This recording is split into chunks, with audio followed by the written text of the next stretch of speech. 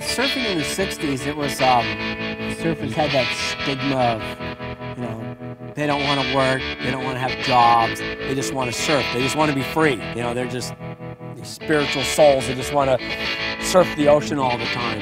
Thinking that you're going to get drafted and pulled away for two years, it's like, inland, I'm not going to surf, I'm not going to see the ocean. It, uh, it played havoc with a lot of people's lives. I had no time for wars. It, it just was something that wasn't even in my uh, agenda.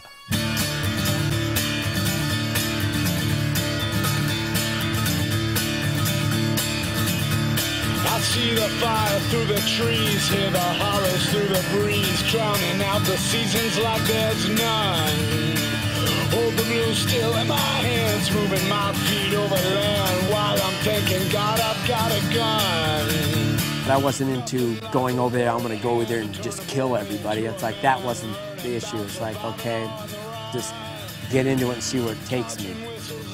The only thing I wanted to do was come home and surf. And I figured if I didn't have my arms and legs, then I can't surf, so there's no reason for me to come back. Even though I got out of the draft and everything else, I felt like the Vietnam War had dumped this huge load on top of me and I was just stuck there.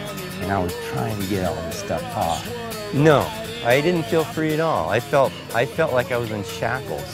Surfers will always find a way to play, no matter where they are. You know, they want that experience. Didn't think, oh gee, where am I? And I'm in Vietnam, and it is none of that. It just, just natural. All, all that mattered was dropping in, catching a wave, and, and making the bottom turn, and, and it was just exhilarating. Stuck in mud and no man's land, resting easy in the sand, smelling that great ocean and the wind. Oh, here we go, you know.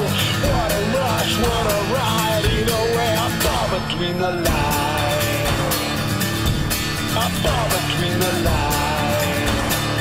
Either way I fall between the lines. Spiritually, I was stronger, and that's why I didn't go.